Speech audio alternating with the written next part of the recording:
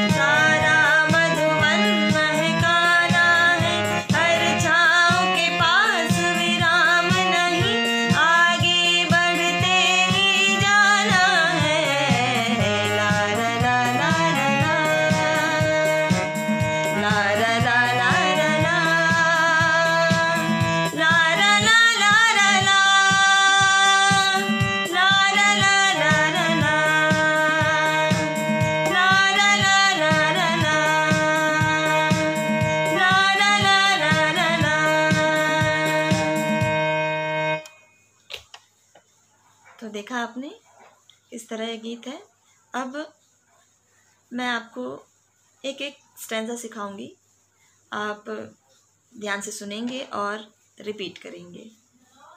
अभी हम without rhythm चलेंगे ताकि आपको स्वर अच्छे से समझ में आ जाए। फिर उसके बाद रिदम के साथ। ठीक है?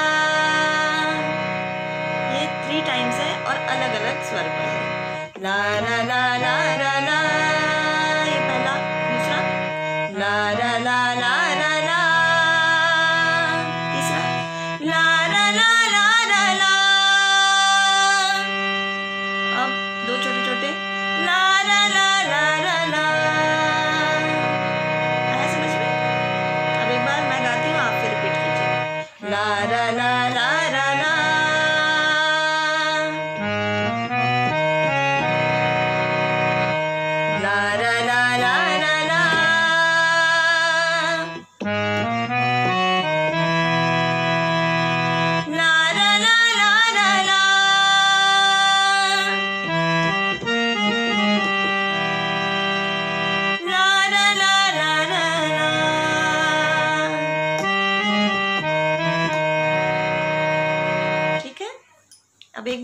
हम रिदम के साथ करेंगे।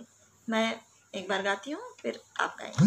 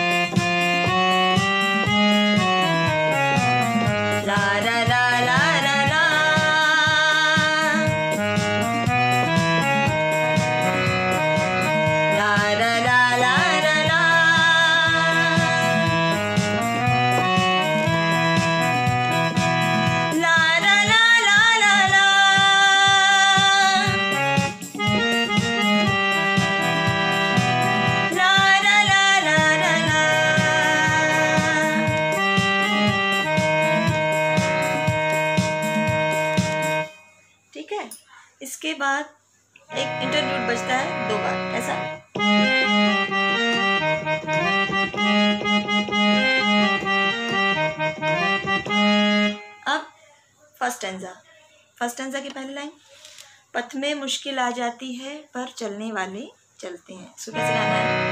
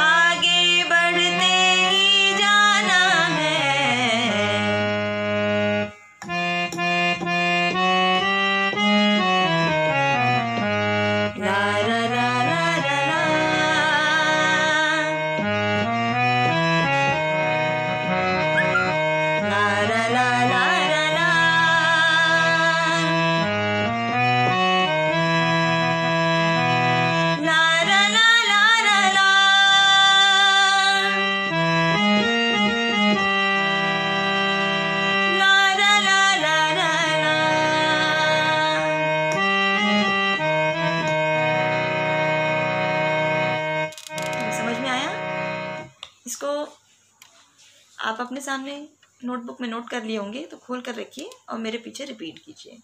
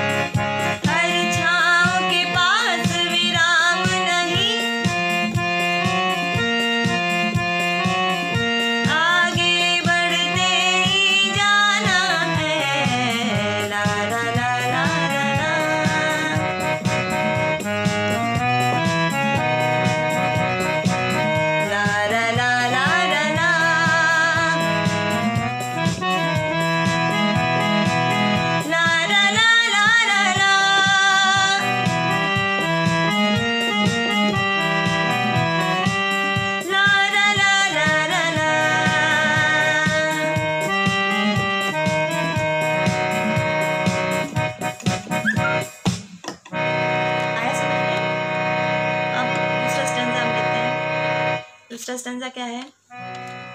जो पाँव बढ़ाता है अपने, मंजिल उसको ही मिलती है। तन धूप सहन कर लेता है, मन की तस्वीर बदलती है। ये सफ़र रोशनी देगा ही। हमको तो कदम बढ़ाना है। हर छाँव के पास विराम नहीं, आगे बढ़ते ही जाना है। सुनते लेते हैं